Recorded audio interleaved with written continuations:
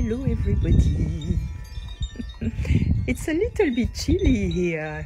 It's great, you know. This morning it was like 15 Celsius, so it's quite chilly. I can enjoy my showers, and uh, now it's a nice, nice weather. We were supposed to have rain and nothing. There are, I think, there are big clouds. Maybe later we're gonna have some rain. I have not seen baby Oscar today. He must be very busy. No, there is hmm, nothing. Oh, it's cool. So I'm gonna do a small live about something that um, some of you are asking about, you know, and uh, let me let me close this and be on the stand. Just one minute. It's a little bit the mess here. so let me sit there. Let me turn this. How do I turn this? Uh, huh. Maybe. maybe here. Yes. So let me put this on the stand. Yeah. Um, we have an amazing weather in the high desert. It's uh, really surprising because when I moved one year ago, it was so hot at, at the same time, and now it's it's really uh, amazing. It's even a little bit chilly, so I am really enjoying my uh, my showers. it's uh, voila. So uh, I do this video in English. Uh, I will do it in French another time. It's complicated for me. I would love it. I, I think there is a direct translator, but it's you on your side who has to set up that. Me, I cannot. Uh, I cannot do it, and I'm really bad to subtitle because it takes a long time. I, I'm really bad with that. I'm not really good with technology. I just do what I know to do with you know my phone and my video and my pictures and and that's it and uh, the rest is complicated to me. So, yeah, it's a topic that uh, a lot of people uh, are telling me about. It's about what is going on right now, and we are exactly in the in the in the thing now with the Pride Month.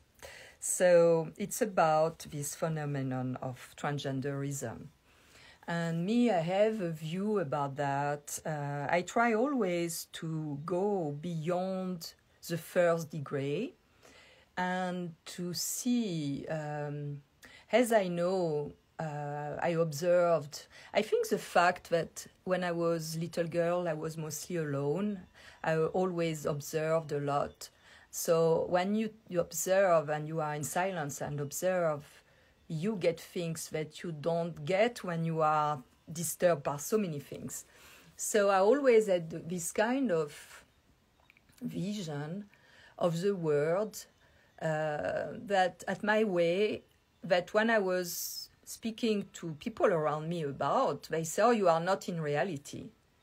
But what I was seeing maybe was too visionary or I was seeing things, and, and I felt always rejected. I felt always uh, not at the right place, not because it was really weird for me to see things, to try to express what I was seeing, and to to don't people don't receive it in front of me and telling me sometimes I was crazy.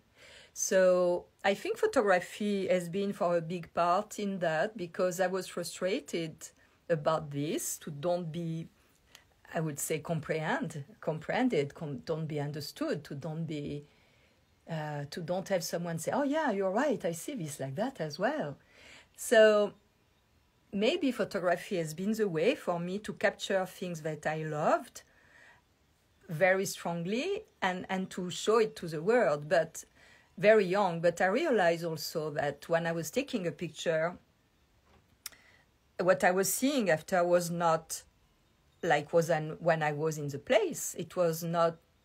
I don't. I didn't have the same feeling than when I was in the place. So I thought something is missing. It's flat, and I realized later on, much later, that when I was putting myself in the landscape, the landscape was taking a bigger dimension, a more, it was a, a better perspective or proportion about a human, a human being, a body in the landscape.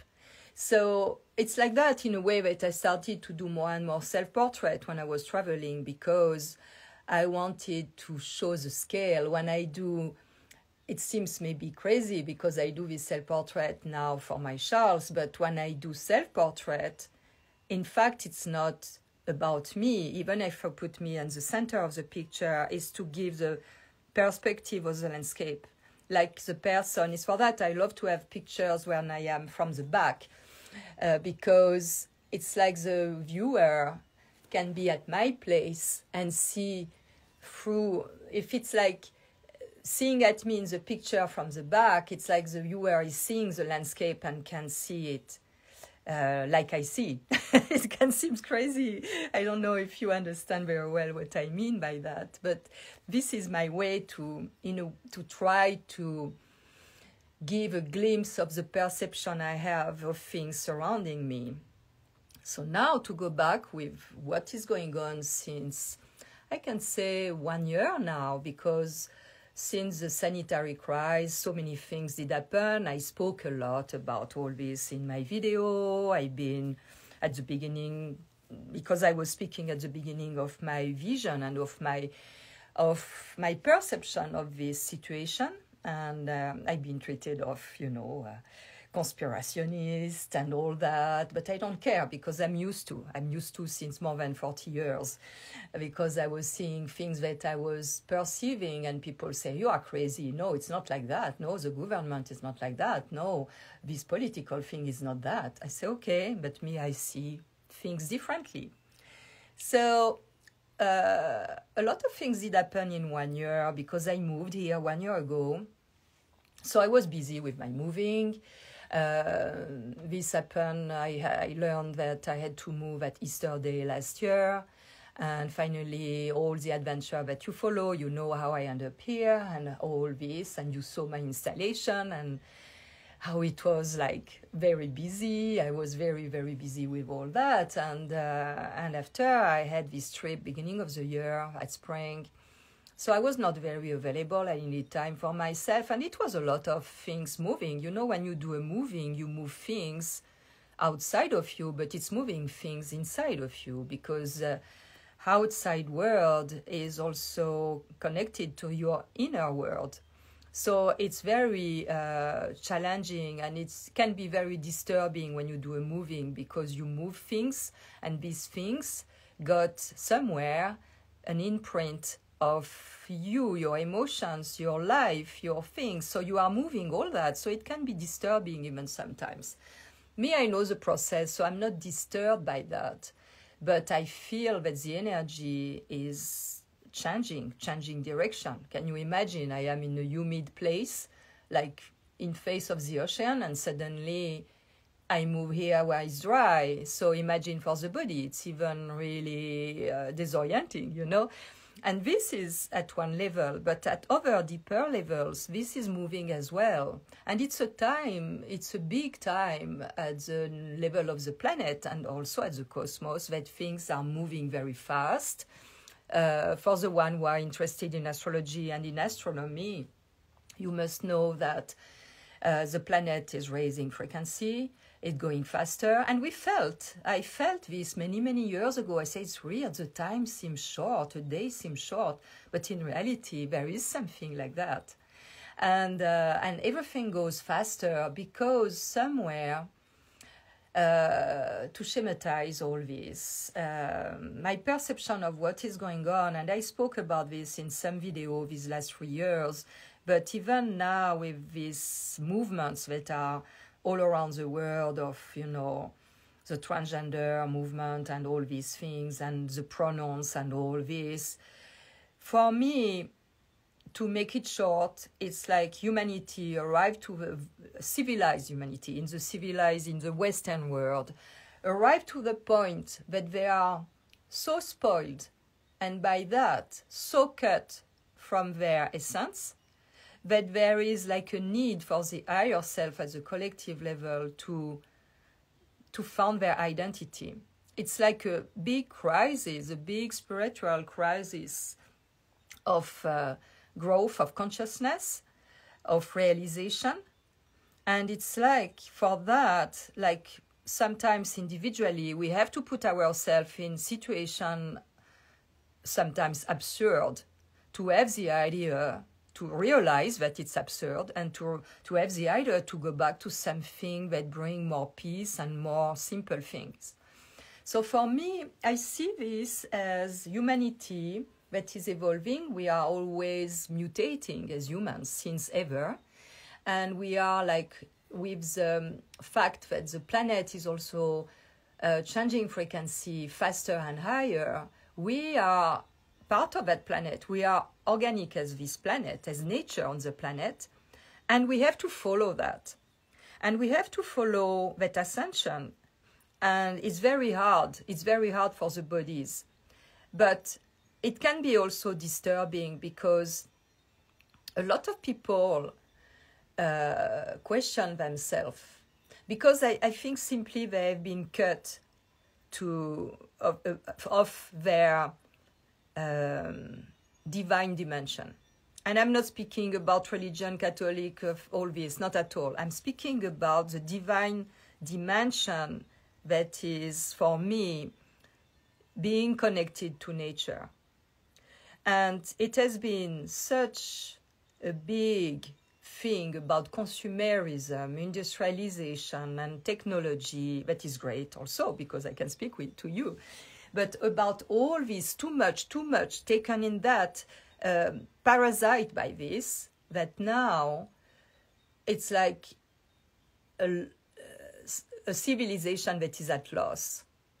They really don't know who they are.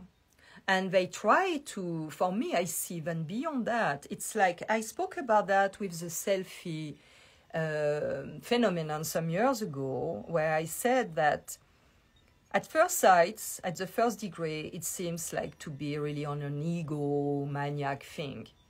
But me, I see something beyond. I see, I was seeing that through this image of the face non-stop, all you have pages, I can't, you have all image of faces, the same faces, different angles, same close-up, same crop. It's like for me, it's like the being is trying to manifest in the physical material dimension that we are the beauty of the divine of the subtle realm that is very difficult to to bring here to because if you are not artist and don't have uh, this connection by sensitivity with the subtle world, invisible world. It's very difficult uh, to to know because you don't, you are not connected. But but you are. Everybody is connected because we are all here. So, but it's a different way to be connected, and for me, it's a research.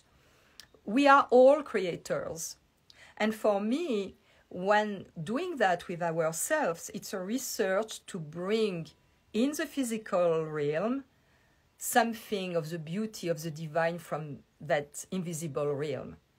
And it's what is going on at another level now. After the selfie some years ago, now we have the transgender movement. Because at the divine level, it's like we are timeless, we are limitless, and there is no notion of him, her, she, he. There is, but in the physical realm, you have XX and XY. That's it. So, but this is the physical dimension. So I have the feeling that a lot of humans in this big crisis that we are living all around the world, it's a, it's a spiritual growth crisis. There is, in fact, uh, a quest for the divine identity and to manifest the divine in the physical world, is what I, I perceive it like that. I, I see this very positive, even if I have the feeling it go it has to go to some really deep nonsense to be able to find a balance. And uh, because it's more simple than that, this is bringing too much confusion and too much complication. It's more simple like that, you know. It's like it's it's it's blowing my mind actually, but I I don't want to say to stay at the surface of that. I see something beyond that is really strong and really really important, because as we are entering in the Aquarian era, now we have to be the, the human race has to really connect to spirit. And to spirit you know it's a breath. It's it's what keeps us alive. And this we have no control on that we cannot decide you know and i had a very beautiful experience like day last day i opened my window in the morning and when i wake up i went out the light was amazing. And suddenly, that landscape that I know now since one year, it's like the landscape aspire me, was breathing me. And in the same time, simultaneously, it was like I was breathing the landscape inside of me, and we were one. And it was such a moment of epiphany that it was, I was crying. It was very, very strong and beautiful. I was feeling breathed and breathing that. And I was feeling breathed by that. And, and this is very simple. And I think this connection that I have when I picture, you know, nature, when I picture the flowers, I, be, I have the feeling at a moment I become this flower or butterfly or my little bird. It's like I can understand, I can feel what is feeling what is last day was like taking all this piece of treat I gave and he kept them in a beak and he was like looking for his friend, but I think it's not his friend. I think it's his parent. So it's his like his kid or maybe it was Oscar because I realized on pictures that I was just checking on my phone that Oscar, the parent of this baby Oscarine, had a white tip of an of a feather and yesterday, or before yesterday, baby Oscarine came and he was like looking for another one. And the other one who came, I think it was Oscar, because I recognize the feather and I recognize that it's validated that what I recognize the feather today on my takeoff last year when I was with Oscar. And Oscar is bigger than baby Oscarine.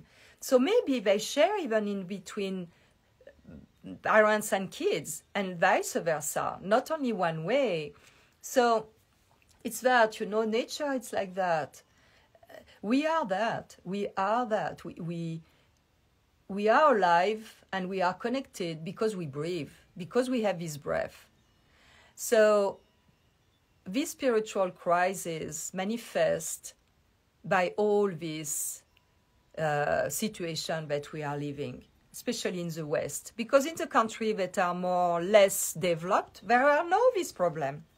They are not at all. And they are not. And also, for example, uh, I went in French Polynesia. There is no problem about gay people or that. It's common and it's like normal in every family that it's, it's, it's totally, total nonsense. Why make a big deal about that? Oh, my baby's here. Oh, look who is here. Hey, baby. Oh, he's coming. Look at this. Oh, my baby. You are here?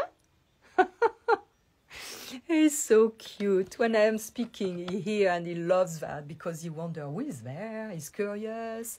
Huh? He's listening. He's so cute. Yeah, so you know it's that and when I go and when I see even beyond that, because I, since all these many many years, I've been passionate about the symbolism and about the esoteric side of things and about uh, having a bigger picture of what is given giving us to see, because what we see is a pale manifestation of what we don't see of the invisible.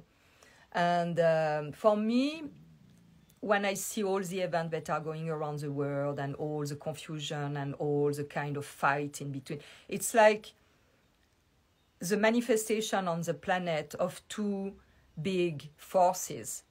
There are these forces that we call eros and thanatos, uh, of uh, desire and life and of destruction. And these forces are working together to make the world as it is, to make the universe as it is.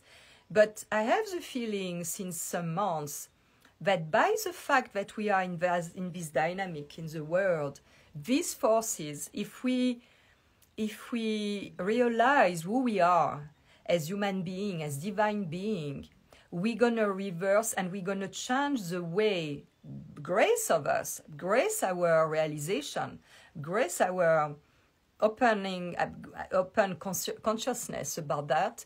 We're gonna, in a way, influence it can seem really uh, pretentious, but it's like we're going to influence the way by which these forces are playing together.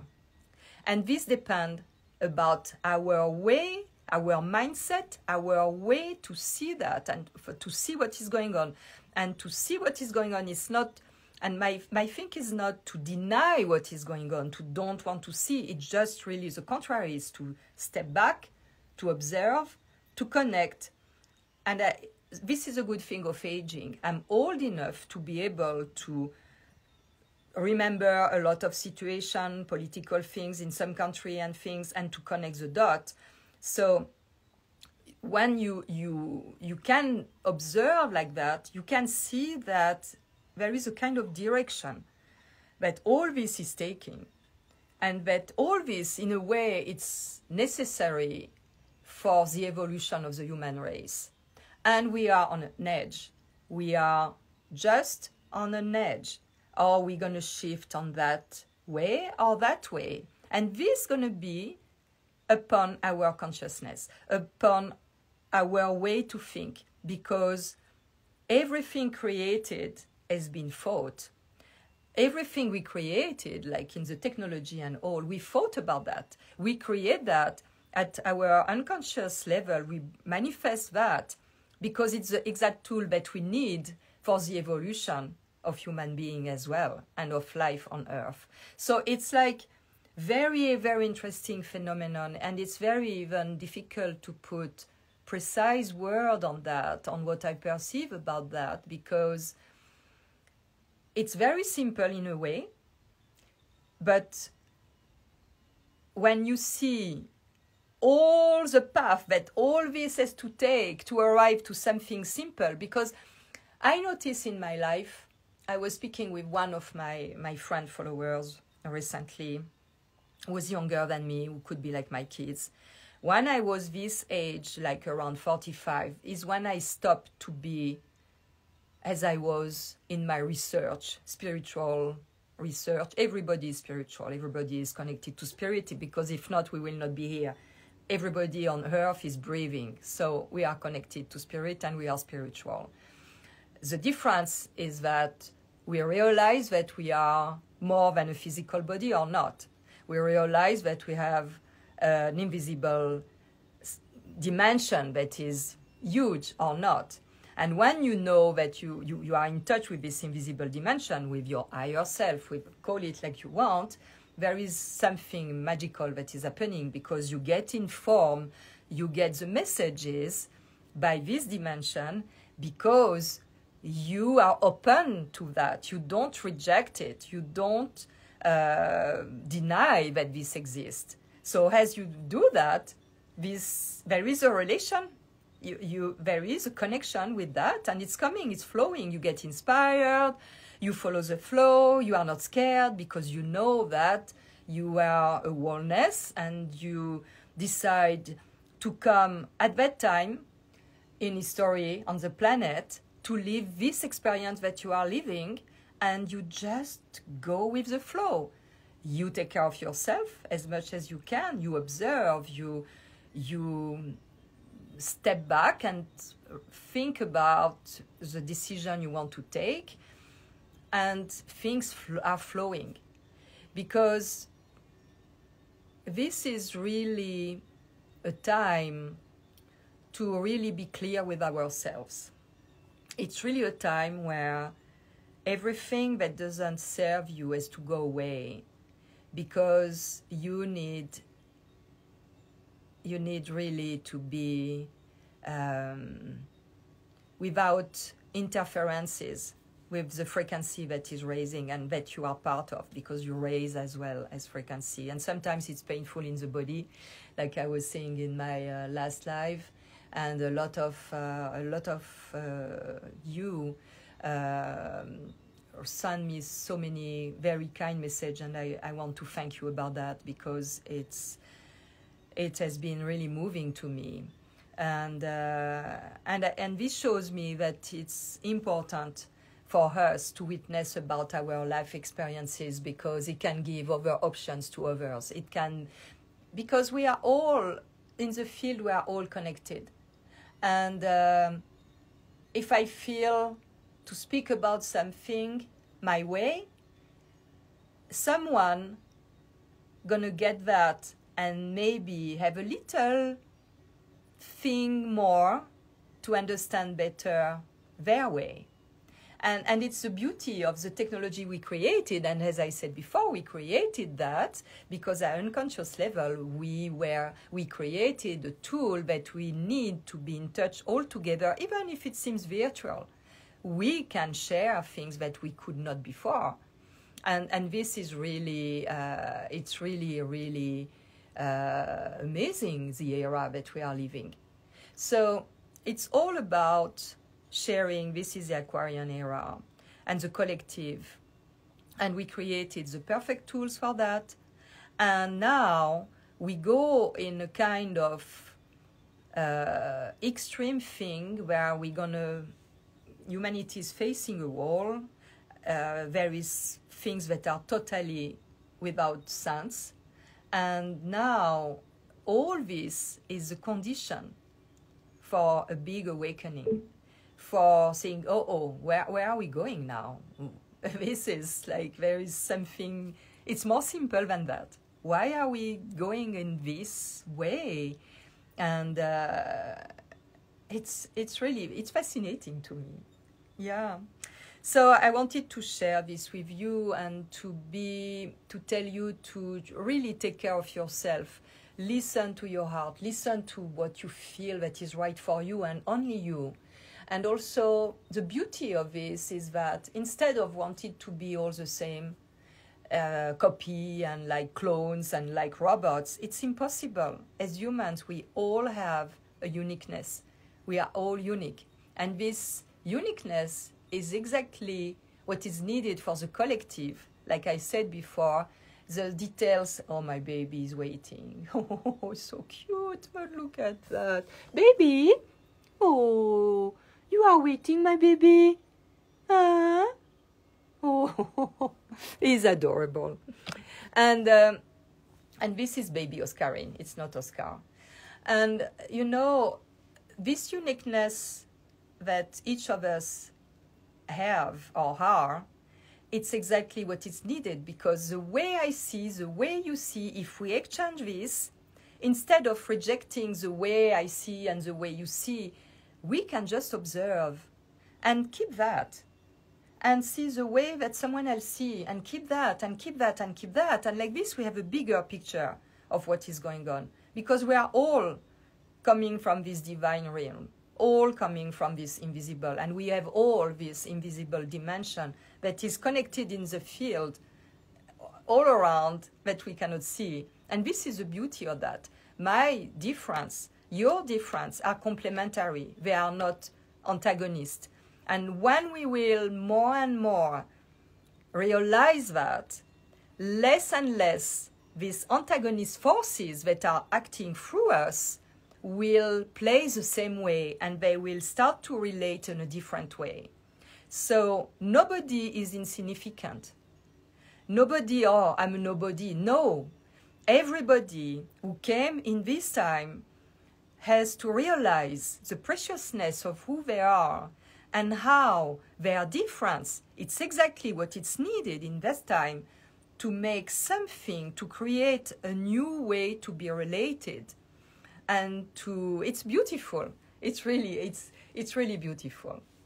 Oh, my baby. So I'm gonna let you because I'm gonna feed him a little bit. I'm gonna see to show him to you a little bit closer. But this is what I wanted to share with you, and it's I will have more about this. But look at this little thing. Hey, baby. Hey, my baby. You come? You come, come, come. Uh, are you coming? You want your treat, baby? Oh, oh, he doesn't like the phone. This I notice. When I show him the phone, he's not really happy. Eh, he, and also when I wear glasses, it's like making reflection and it's disturbing him. Ah, Hi, baby. Oh, you come. Oh, yes. you want something? Huh? Oh, you sing? You sing for us? Do you sing for us? Huh? and the wind, it's like in his feathers, it's like sure there are the drapes of the, the linen, but it's also the wind in his favor. He's very disturbed when there is a wind. Because when it was not the drapes, when I came back, it was very windy and uh, he was disturbed. Look, he's here now. What you want, my baby? Do you sing for us? Huh? Do you sing for us? Do you do like this? Huh? Yeah, like that. Oh, you are so beautiful. You are beautiful, my baby. Huh? Oh, oh precious. You are precious. Yes. Huh? you know, I never get tired of being with him. It's such an amazing relation. Ah, okay, so I let you. You're gonna come. I let you, and I wish you a very good day, a very good evening. And uh, I answer to all the message, so you, you can message me if you like. Um, it was difficult for me. Yes, baby, I'm coming. It's difficult for me to uh, to really take because it's very it's already difficult for me to follow the thread of what I feel, uh, and I cannot interrupt to read all the comments and to welcome you. Uh, but I'm open to do some live with some of you if you want to, to speak about a topic in particular. I will be happy about that. Uh, next Friday, I'm gonna have a live with someone who is doing something amazing for children, and uh, that goes with the current of what is going on, but on on a deeper way. So we're gonna have a, a live about uh, the organization she created and what she's uh, proposing for schools and and different uh, you know um, associations. So voila.